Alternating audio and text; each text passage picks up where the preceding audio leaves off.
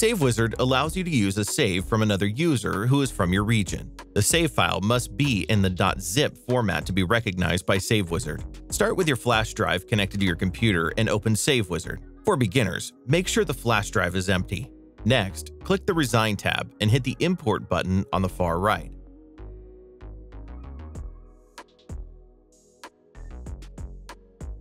Navigate to your .zip file and double-click to select it.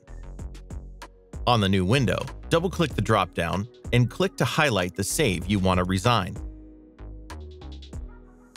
If there are multiple saves, you must do them one by one. From here, hit Import, select the desired profile, hit Apply, and you're ready to go.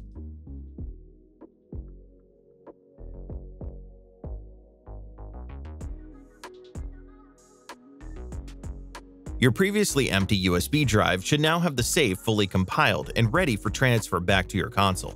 Yeah, I lied to you, you cried me, I ride for you, you ride for me, to be the man that you wanted, yeah, I tried to be. All I wanted was you to say that you proud of me, yeah, this be my letter of apology. We be going back and forth, should be comedy.